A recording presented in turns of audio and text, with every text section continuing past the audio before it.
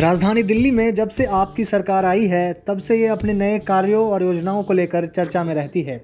अब एक बार फिर से आम आदमी पार्टी के एक विधायक ने कुछ ऐसा काम किया है, जिसे देश भर में पहला स्थान प्राप्त हुआ है। दरअसल अब दिल्ली के सत्तर विधायकों में से एक विधायक का कार्यालय ऐसा भी है, जिसे आईएसओ प्रमाण पत्र मिला है। आईएसओ प्रमाण पत्र पाने वाला यह देश का पहला विधायक कार्यालय है। इस कार्यालय की शुरुआत 23 जुलाई को दिल्ली के मुख्यमंत्री अरविंद केजरीवाल ने किया है। जहाँ उन्होंने एक आयोजित कार्यक्रम में तिमारपुर विधायक दिलीप पांडे को यह आईएसओ का प्रमाण पत्र सौंपा है। कार्यक्रम के बाद सीएम केजरीवाल ने कहा कि लोगों का जनसंपर्क ऑफ़िस बनाया है। अगर किसी को भी किसी भी तरह की समस्या होती है तो वो यहाँ आ सकता है। इस ऑफ़िस की खासियत यह है, वैसे तो हर विधायक पूरे देश के अंदर अपनी अपनी विधानसभा में एक ऑफ़िस बनाता ही है। यहाँ की खासियत यह है कि इन्होंने जो इंटरनल सिस्टम्स बनाए हैं कि कोई भी अपनी समस्या लेके आएगा तो उसको कैसे डील किया जाएगा, उसके प्रोसेस क्या होंगे? उसको कौन डील करेगा? फिर वो क्या करेगा? फिर उसके बाद क्या होगा? फिर उस समस्या को कैसे डील किया जाएगा?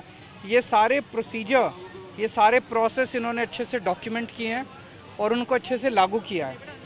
इसको आईएसओ वाले आईएस जो है स्टडी करके गए एग्जामिन करके गए और इनको आईएसओ 9000 सर्टिफिकेट मिला है इनके दफ्तर को।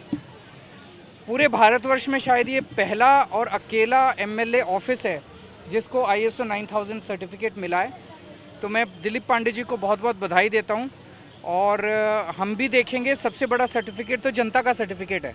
आईएसओ से भी बड़ा सर्टिफिकेट तो अगर जनता इससे बहुत खुश होती है और ये सक्सेसफुल होता है तो फिर हम इसको पूरी दिल्ली में बाकी विधायकों के साथ भी लागू करेंगे।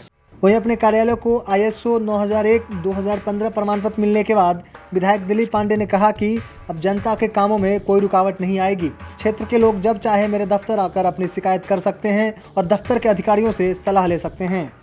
कभी किसी ने इस बात पर ध्यान नहीं दिया होगा। मैं जनप्रतिनिधियों के दफ्तर की बात कर रहा हूँ कि जो जनता यहाँ आती है अपनी समस्याओं को लेकर, उनके अनुभवों को और दुरुस्त और बेहतर कैसे किया जाए? हमने इस बात पर ध्यान दिया और हमने शुरू किया अपने इंटरनल प्रोसेसेस को डिफाइन करना फिर डॉक्यूमेंट करना और उस प्रोसेस में पर्सन कहाँ फिट होता है, हमने उस पर्सन को भी इस प्रोसेस के अंदर फिट करना शुरू किया। मतलब क्या है? अलग अलग विभाग हैं तो उन विभागों का काम कौन एक आदमी देखेगा और काम को देखने का या करवाने का तरीका क्या होगा? ये सब कुछ हमने डॉक्यूमेंट कर दिया। इस डॉक्यूमेंटेशन के प्रोसेस के डिफाइन होने और डॉक्यूमेंट होने के बाद किसी भी तरह का कोई कन्फ्यूज़न नहीं रहा। और ऐसा करने के लिए हमने जो एक संस्था है इंटरनेशनल ऑर्गेनाइजेशन फॉर स्टैंडर्डेशन हमने उनके द्वारा तैयार किए गए अंतर्राष्ट्रीय मानकों को ध्यान में रखकर किया। हमने उनके मानकों को सेटिस्फाई किया और उनसे कहा कि भाई, अब हम इस लायक हैं कि आपके बेंचमार्क्स को हम कंप्लाई कर सकें। तब उन्होंने हमारा ऑडिट करवाया और ऑडिट के बाद ये सर्टिफिकेशन मिला है। I S O nine thousand one two twenty fifteen certification मिला है। तो ये, चूँकि किसी ने इस पर ध्यान नहीं दिया, लिहाजा ये जो दफ्तर है, विधायक कार्यालय है, ये हिंदुस्तान का, भारतवर्ष का पहला ऐसा जनप्रतिनिधि कार्यालय है, जन सेवा केंद्र है, जो आईएसओ द्वारा सर्टिफाइड है। हालाँकि नए कार्यालय के उद्घाटन के दौरान सीएम केजरीवाल ने यह भी कहा कि सर्टिफिकेट तो जनता का होता है और यह कार्यालय सिर्फ़ एक प्रयास है। अगर यह सफल होता है तो इस तरह के और भी कार्यालय खोले जाएँगे।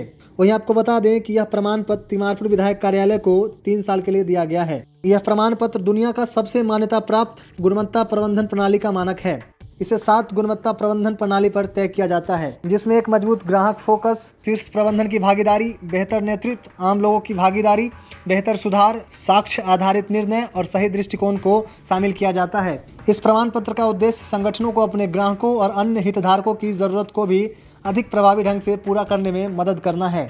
ब्यूरो रिपोर्ट, दिल्ली तक।